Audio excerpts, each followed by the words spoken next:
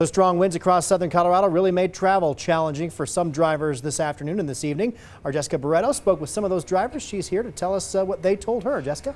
Well, he told me the winds, which range from 30 to 45 miles per hour, forced them to take it a little slower and be hyper aware of their surroundings to avoid a worst case scenario. High winds kicked up across southern Colorado, forcing CDOT to issue a high wind warning in El Paso, Pueblo, Teller, and Fremont County. CDOT asking drivers of high profile vehicles like semi trucks to be cautious. The driver behind this truck tells me it's easy to see why. I felt the whole side of the truck lift up.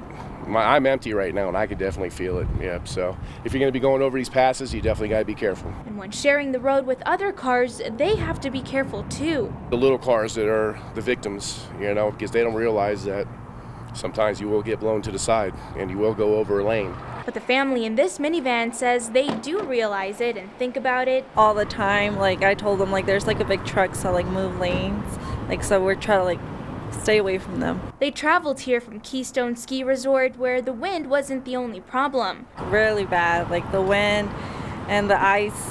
We couldn't see because of the snow. It started to snow. We couldn't see anything. At least here east of the Rampart Range, the gusts didn't knock down anyone's travel plans. Everything's great.